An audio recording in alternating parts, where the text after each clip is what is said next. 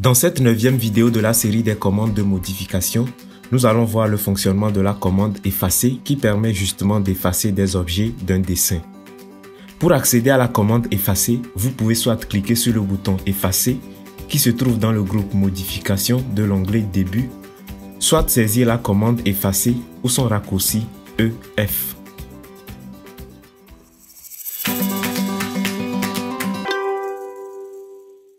Première option d'utilisation de la commande effacer, effacer des objets par sélection simple. Pour cela, je vais dessiner quelques objets. Je vais commencer par un cercle, puis je vais dessiner un autre rectangle ici. Pour effacer ces objets, je vais cliquer sur le bouton effacer. Ensuite, il m'est demandé de sélectionner des objets. Je vais sélectionner le cercle, puis le rectangle. Et là, vous voyez que les objets sélectionnés sont grisés. J'appuie ensuite sur la touche Entrée et les voilà supprimés.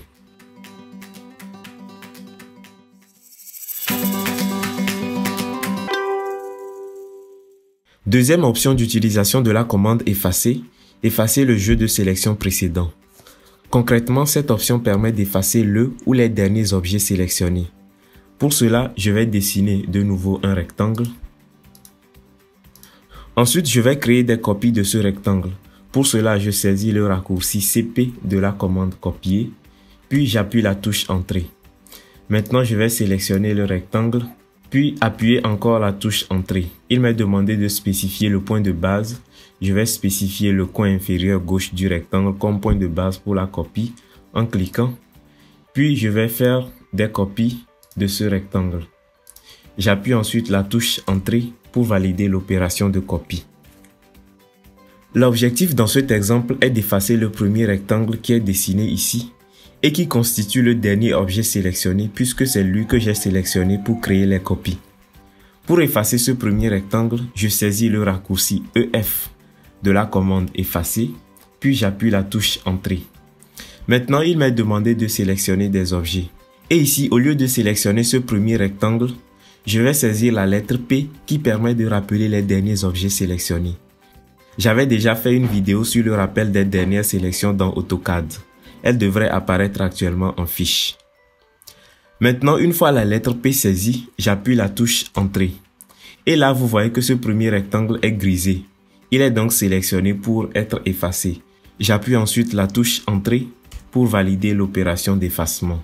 Et voilà le premier rectangle qui est effacé.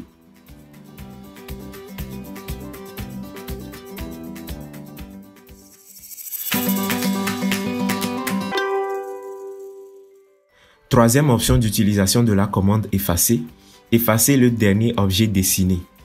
Ce que je vais faire pour cet exemple, c'est que je vais dessiner quelques lignes de cette façon. Ensuite, je vais dessiner un cercle. Ici, le cercle constitue le dernier objet dessiné. Pour l'effacer, je vais faire appel à la commande effacer de nouveau avec son raccourci EF. J'appuie la touche Entrée. Il m'a demandé de sélectionner des objets. Pour sélectionner le dernier objet qui est ce cercle, je vais saisir la lettre D du clavier et rien d'autre. Donc je saisis D, puis j'appuie la touche Entrée. Et là, vous voyez que le cercle est grisé. Il est donc prêt à être effacé. J'appuie la touche Entrée, puis voilà le cercle effacé.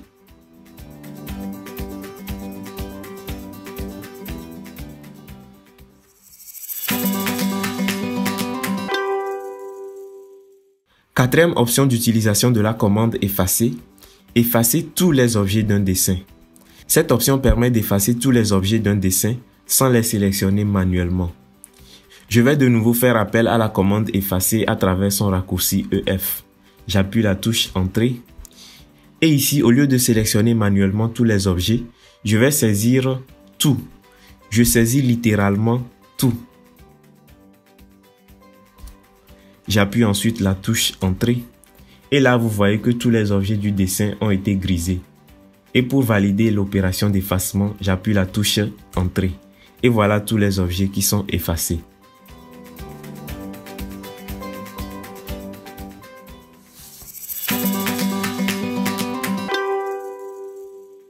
Cinquième option d'utilisation de la commande effacer, retirer des objets d'un jeu de sélection à effacer. Supposons que je veuille effacer un ensemble d'objets de ce dessin. Je saisis le raccourci EF de la commande effacer, puis j'appuie la touche Entrée. Il m'a demandé de sélectionner des objets. Je vais sélectionner des objets dans ce dessin de cette façon. Après cette sélection, je change d'avis. Il y a des objets que je voudrais conserver finalement. Il s'agit notamment des deux premiers rectangles qui sont ici. Maintenant, comment les retirer de la sélection que je viens d'effectuer? Pour cela, je saisis la lettre S, puis j'appuie la touche Entrée. Et là, j'ai la possibilité de retirer ces deux rectangles de la sélection que je viens d'effectuer. Maintenant, je vais les sélectionner de cette façon. Et là, vous voyez qu'ils ne sont plus grisés. Maintenant, je peux appuyer la touche Entrée pour effacer les autres objets que j'avais sélectionnés.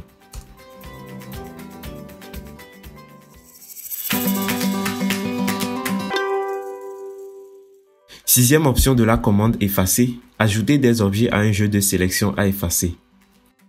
Comme précédemment, je vais encore effacer certains objets de ce dessin.